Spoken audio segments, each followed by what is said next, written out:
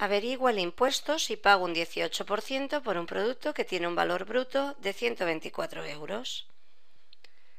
Nos dice que el producto vale 124 euros y que el impuesto que queremos averiguar es del 18%.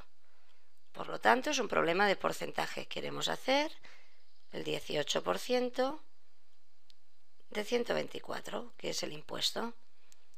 Lo que significa que tenemos que multiplicar 18 por 124 entre 100.